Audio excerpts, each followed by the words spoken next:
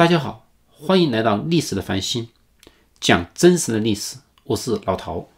上期我们说到，李宗仁在湖南的战事初期之时，兴冲冲的来到广州，要推动国民政府北伐。但是等李宗仁到了广州以后，与各方一轮会谈下来，结果不禁令他大失所望。此时，广州各种势力互相角逐，政治局面非常的复杂。汪精卫远走欧洲，虽然蒋介石已经成为广州的中心人物，可是他实际能够控制的也只有第一军和黄埔军校的学生。那么，我们是时候来盘点一下国民革命军的家底了。这也是孙中山去世以后留给国民党的遗产。到一九二五年五月，北伐正式开启前，广州国民政府拥有七个军的战斗序列。按照军队的地域和来源，可以分为黄埔军、粤军、湘军、滇军以及桂军五大系列。我们先看看黄埔军，属于黄埔军的是第一军，军长蒋介石。第一军最先由许崇智的粤军和黄埔军校学生组成，后来粤军那部分被剥离出去，成立第四军，第一军就变成了纯黄埔系军队。这个军曾经在两次东征陈炯明的战争中立下赫赫战功，是国民革命军的主力。这支部队也是后来国民党中央军的班底。北伐以后，第一军军长由黄埔军校的教育长何应钦接任。此时，黄埔军校毕业生绝大多数还是下级军官。北伐开始时，黄埔军校的第四期还没有毕业。国民革命军中的。高级指挥官，除有一小部分是留日或者留德的海归派以外，最主要的来源是保定陆军学校。保定陆军学校毕业生是北伐的中坚力量，是国民党高级将领第一梯队的重要组成部分。保定陆军学校的起源可以追溯到袁世凯的天津小站练兵。一九零零年，八国联军之遇，中国战败，签订了《辛丑条约》。规定中国不得在天津驻军，袁世凯于是把练兵地点从天津小站搬到了河北的保定。一九零三年，袁世凯在保定开办陆军小学堂、陆军中学堂、兵官学堂以及陆军大学堂，开启了中国正规军事教育的历史。一九一二年，袁世凯任中华民国总统以后，他把陆军军官学堂搬到了北京。在保定的原址开办保定陆军军官学校，保定军校的学制是两年，外加六个月实习。一九一二年开始招收第一期学员，到一九二三年保定军校停办。同时，全国大部分的省份都各设立了一所陆军小学堂，学制三年。全国一共设立了四所陆军中学堂，学制是两年。然后。从这些小学堂到中学堂，最后再到保定陆军学校，逐级择优录取。所以，保定军校的学生都是全国海选出来的优秀生。前后一共要经历七年多的正规军事教育，学生的军事素养非常的扎实。国民革命军中出自保定军官学校的名将有李济深、张发奎、陈书明、白崇禧、叶挺。唐生智、刘四、熊式辉、陶思岳、顾祝同、黄绍竑等等。同时，北洋军阀里面更是有一大批高级将领出自保定军校。相比之下，黄埔军校的前五期，每一期一共也只有半年到一年的军事训练和学习时间。黄埔军校只是一个培养初级军官的学校，就像日本同时期开设的。陆军士官学校都是培养基层指挥官的，这和黄埔军校如今在人们心中高大上的形象是有很大落差的。黄埔毕业生在北伐开始的时候，担任团职的只有一期的孙元良和范汉杰，像胡宗南、陈明仁、李延年这些一期生，在北伐开始的时候也才是营长，他们还算是提拔的快一点的，绝大多数。都还是连排级军官。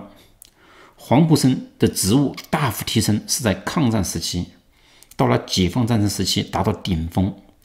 后来牛气冲天的林总，要到一九二六年九月北伐军拿下武昌以后，才从黄埔四期毕业，进入第四军当了见习排长。而一期的徐帅在北伐开始时还没找到固定工作，在各地方武装中跳槽来跳槽去。我们再回到国民革命军序列话题。说完黄埔军，接下来是粤军序列。粤军指的是第四军军长李济深。粤军的前领导人是许崇智。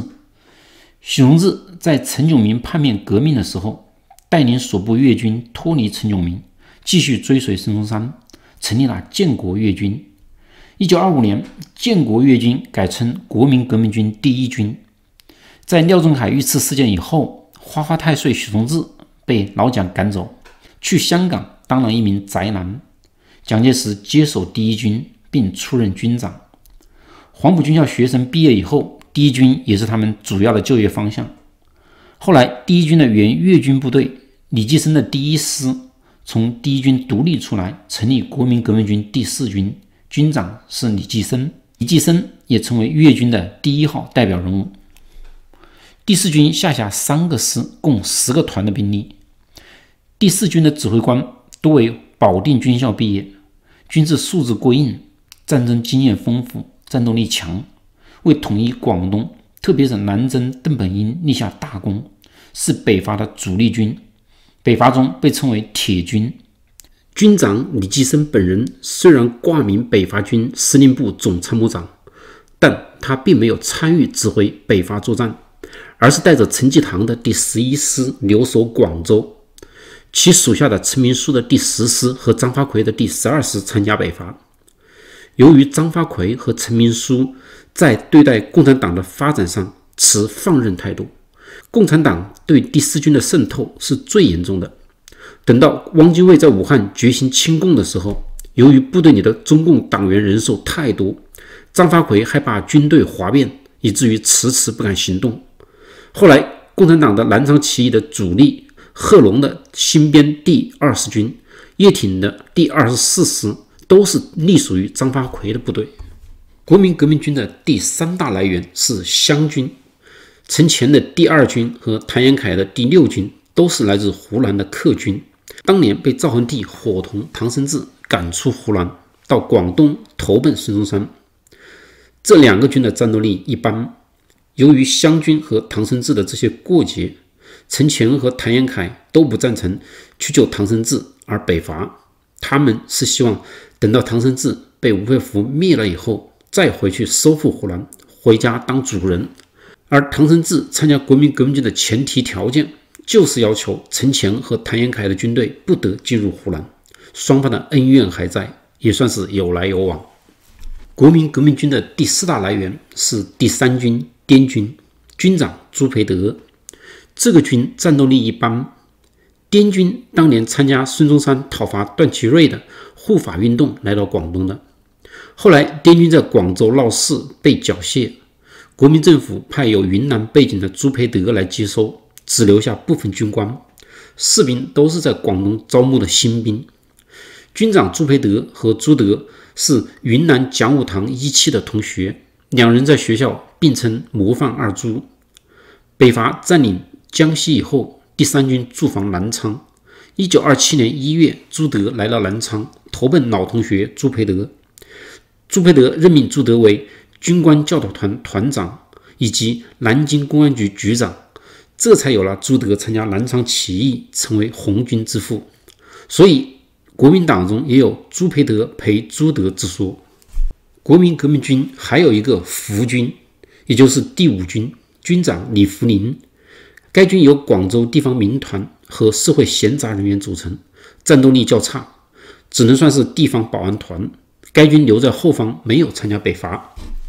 国民革命军另一个重要系列是第七军，广西的桂军，军长李宗仁，党代表黄绍竑，参谋长白崇禧，桂系的三巨头都在了。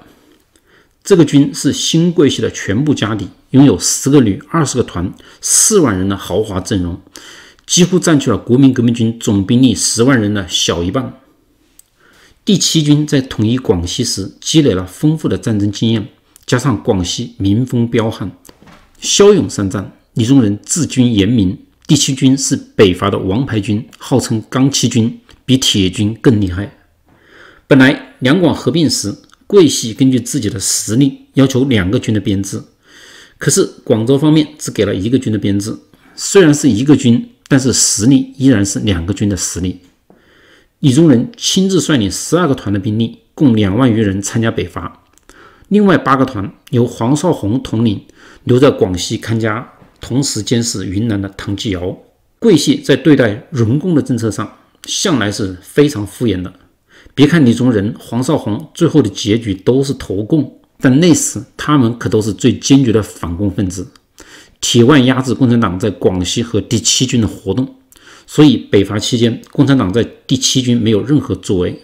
以上就是广州国民政府北伐前的全部家底。这些混迹军界、政界多年的大佬们，空谈起北伐的大道理来，那是个个口若悬河、慷慨激昂，一个比一个能说，一个比一个更革命。但是具体谈到出钱、出力、出兵的时候，那是一个比一个狡猾，各方的观点都是非常的一致。目前出兵时机尚不成熟，这大概就是所谓的理想很丰满，现实很骨感。其实也不难理解，此时所有人都忙于争权夺利，不愿意分出精力北伐。出兵可是要拼老本的，还不一定有取胜的把握。在这个节骨眼上，谁都不愿意去消耗自己的实力。李宗仁此时却是急得不行，他的部队已经在湖南和乌尔夫接上火了。势如骑虎，如果广州不出兵，广西就要和吴佩孚单挑了。可是有人曾经说过，任何事物都不是铁板一块。就在众人纷纷推脱之时，难能可贵的是，就有那么一个实权人物支持出兵，而且挺身而出。这人就是第四军军长李济深。我们下期接着聊。